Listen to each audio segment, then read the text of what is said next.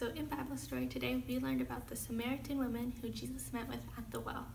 Now, this woman probably did that chore every day of going to the well to collect some water and bring it back home. And when she got up that morning to do that chore, she probably didn't think that it would be any different from any of the days before. But even when she was doing the smallest thing, like collecting water, she was still able to meet with Jesus. And when she met with Jesus, Jesus spoke with her and revealed that he was the Messiah that she had been waiting all this time for.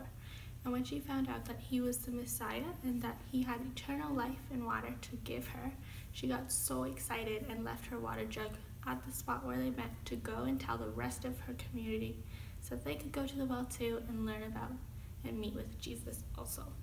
And so what we're going to do today for our art station is we're going to play and make play with and make some pottery um, and we're going to shape it into a little water jug and water pendant to remind us of the Samaritan woman from our story today and the things that she gave up in order to follow Jesus.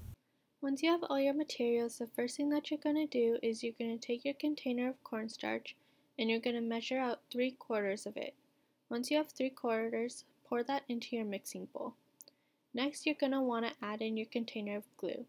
You will get yours in a little container, but I just have this bottle of glue that I'm going to pour into my mixing bowl. When you add your glue, you're going to want to add all of it to the mixing bowl.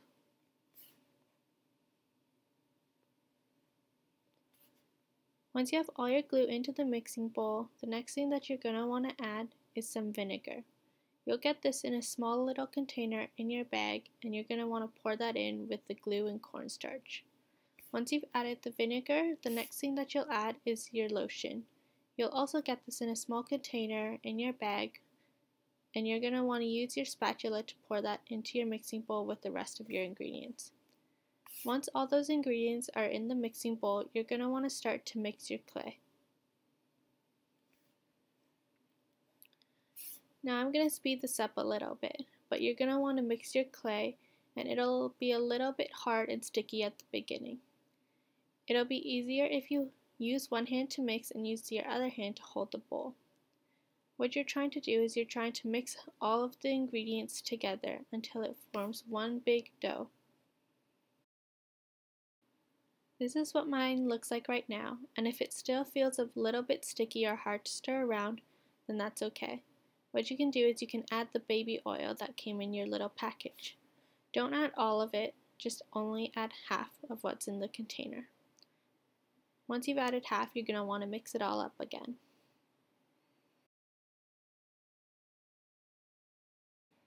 This is what my dough looks like now, and it's still a little bit sticky. So if your dough is still a little bit sticky, you can add a little bit extra cornstarch into that mix. Once you've added a little bit more cornstarch, you can keep mixing it around. The goal is to have the glue absorb as much cornstarch as it possibly can. You want your dough to move as one, and you want it to be easy to stir by the end of it. This is what my dough looks at the very end, and you want to be able to touch it with your finger without it coming off. It might still be a little bit sticky, but as long as it doesn't come off your finger, you should be good to go. Next, you want to find a space in your kitchen or dining table to lay down some cornstarch and roll out your dough. Once you've found a good workspace and poured some cornstarch onto there, put your dough right on top. It's best to just use your spatula and scoop as much of it out as you can and pour it right on top.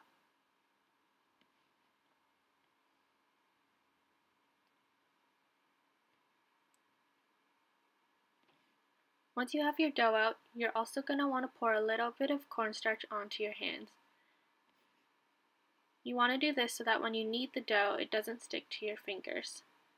Take off any of the extra dough that's sticking to the spatula so that you can roll that out too. Notice that it's still a little bit sticky to my fingers here, but that is exactly why we add cornstarch to our hands. Once you've got your dough out, pour a little bit of cornstarch right onto the top so that you can knead that into your clay. Next, you're going to want to start kneading your clay, and you just want to start folding it in onto itself and playing around with it with your hands. This will probably be a little bit sticky at the beginning, but that's okay. You want to keep kneading your dough until it gets to a point where you can play around with it like Play-Doh without having it stick to your hands.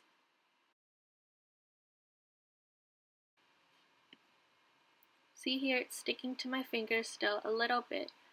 And so what you want to do if it's still a bit sticky is pick up some of the cornstarch that you laid out onto the table and mix that into the dough.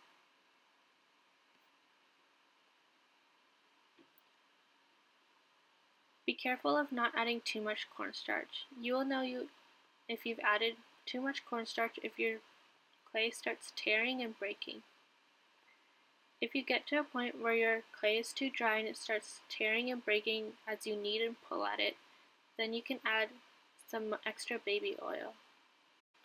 This part might take a little while and it's all about feeling it with your hands to feel if it's still sticky or not. You can add cornstarch as many times as you need for the clay to get to a point where it isn't sticking to your hands anymore. Once you get to a point where you can pull your clay like this and it pulls and moves with you and it isn't sticking to your hands anymore, then you know your clay is good to go. What you want to do now is put some more cornstarch onto your work surface if you used most of that up and pull out your rolling pin.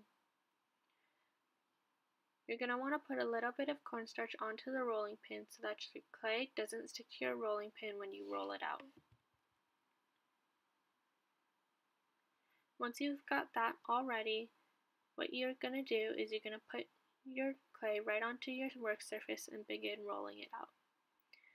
I rolled mine out to about a quarter inch, but you can roll it out to however thick or thin you want your water pendants to be. Just remember that the thicker your pendants are, the longer they will take to harden. This clay is air dry, so once you make your pendants, you can leave them for a few days and it'll dry until it's nice and hard. So just think about how long you want to wait for your clay to dry when you're figuring out how thin you want to roll out your dough to.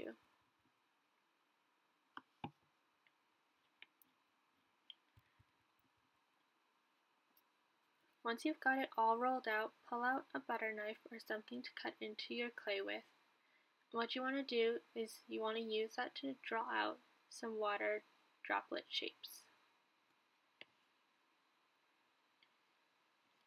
I'm just using a butter knife here so that it's easy for me to cut through the clay.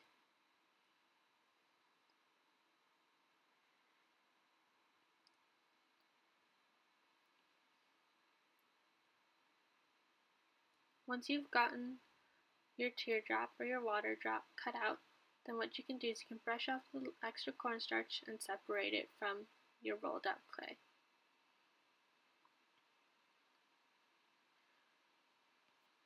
Once you're done, you can set that aside and do another one if you would like to. Another thing you can do is you can make a little clay pinch pot. What you want to do for that is roll it out into a ball in your hands and then stick your thumb right into the middle to make a little hole. Then you want to go around the sides pinching with your fingers to make that hole a little bit bigger. When this story would have happened, the Samaritan woman would have had a clay jug with her to bring the water back home. And so this can be a good reminder of what she left behind in order to tell other people about Jesus. Now you can keep going pinching along the sides to make it as thick or thin as you want to.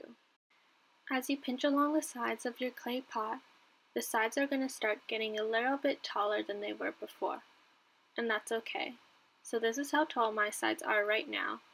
And you also don't want to forget about pinching the bottom a little bit because that part will probably be a little bit thick compared to the sides that you've built up. Once you've got your bowl to a good thickness on the sides and along the bottom, this is what it might look like. Now I'm just going to pinch the top a little bit to make it a little bit more rounder. I want my closing to be a little bit smaller than the actual jug itself, but you can make your opening to your jug however big you want. This is what mine looks like at the end, but know that you can make your jug look however you'd like.